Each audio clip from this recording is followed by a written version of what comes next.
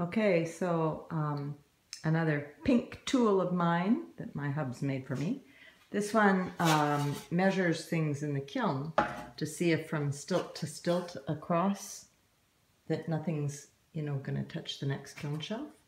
Um, but it also shows me how my kiln shelves are doing for warping.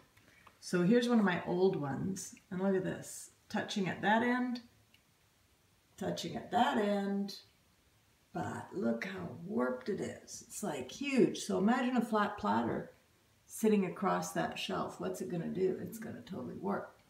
But you might not even see that warp in the shelf. The shelf looks good. And I didn't notice this for some time um, till things started really warping. So now I've got a set of advancers. They're all in the kiln right now firing and they never move at all. But take a yardstick and check all your kiln shelves and that might answer some questions about why things are warping.